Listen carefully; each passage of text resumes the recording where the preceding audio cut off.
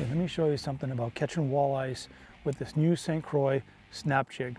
It's in the Legend Tournament Walleye Series, six foot eight, medium power. This technique's been around since about the 80s. When you get sometimes those flat, calm days like this, you know, people think, oh, just very untraditional walleye fishing.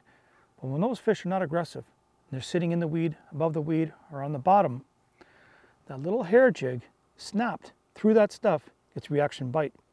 Now when you get a little bit of waves and you get that traditional, what they call walleye chop, where the waves are going and disturbs the, the water column, it can be a lot better. But if you want to get walleyes on days like this, that are flat, calm, sunny, it almost looks like it should be bass fishing, pick up that St. Croix Legend Walleye series in the snap jig, and I'm going to show you, hopefully, how I can do it on a calm, sunny day so you can do it as well. It's a phenomenal technique throwing the jig out, snap, crackle, pop. I'm snapping the jig, letting it fall through the weeds, and then just choom, that reaction strike. When the walleye see it, it's just phenomenal how they just react to it. It's just something, even if they're in a dormant state, but I'm thinking first thing in the morning here, they should be somewhat aggressive. You know, the sun's just trying to get up, but the weed's heavy.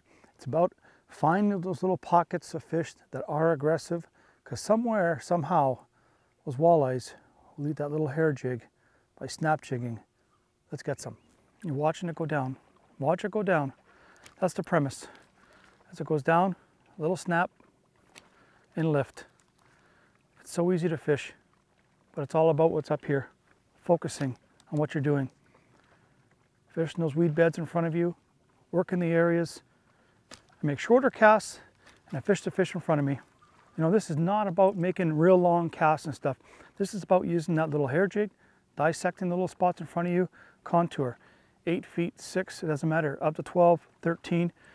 Just dissecting those little spots in front of you. 50, 60 foot pitches right in front of the boat, let it fall. But it's crucial to just watch it go down. All your attention has to be right there on your line, snapping it and watch it. The rod's gonna signal any kind of bites and I got that braided line. There's no stretch. So that combination of the braid and the rod, it's phenomenal. I'm fishing the St. Croix Legend Tournament Walleye snap jig rod with uh, Gamma 15 pound torque. And I'm only using little 1 8 ounce hair jigs. That's it, 1 8 ounce.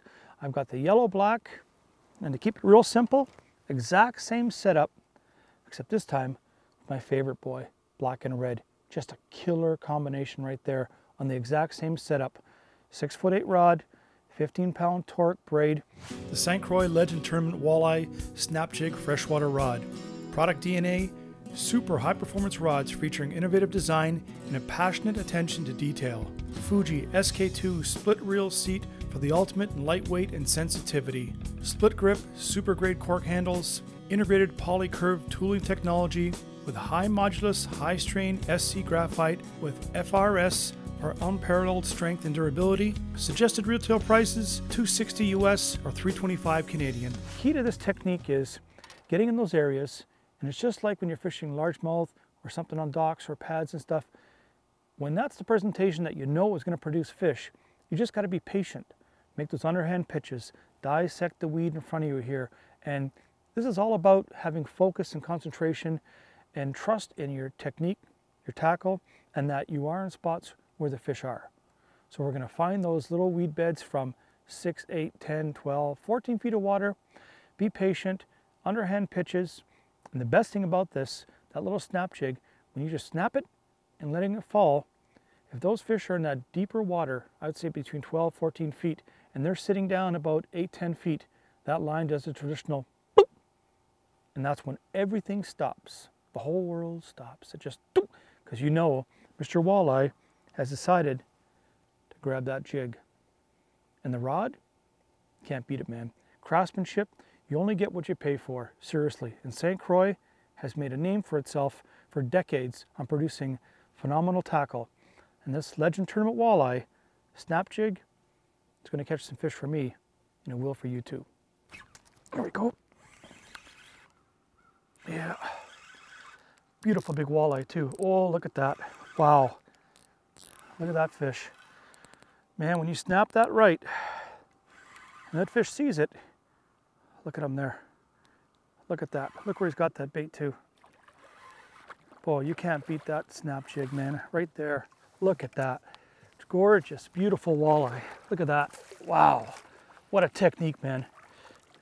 It catches them all the time, boy. All the time. You just got to be patient, fish it right, and I mean have confidence in all your tackle. Look where he's got it too. Look at that. Think you wanted that little jig? I'd say right there. A little hair jig, little bucktail. Look at that. That's it right there. Beautiful snap jig walleye, snap jig by St. Croix. Incredible little rod, great technique. Whoop, whoop, and he's gonna go. Go on. The thing with this technique is you can just fish right in front of the boat and the stuff you see on your sonar. So I pick up that little, this is called a little, I think it's blackjack jig, little quarter ounce, 15 pound gamma. But the key to this whole technique and presentation is having the right rod. The Legend Tournament Walleye by St. Croix, the 6.8 medium power, so I can make those short, uh, real short little pitches in front of the boat. It's got the sensitivity, which is very important with this, very important. Walleyes, they suck in. They rarely go and smash it like a musky bass or smallmouth or largemouth kind of thing. They inhale the little bucktail jig. So making those little pitches and stuff, I keep my rod just like this. Or I hold it right above the reel seat like that. And just those little smooth snap, down it goes, snap. It's all about the concentration, the right rod, right equipment, and you're gonna catch them too.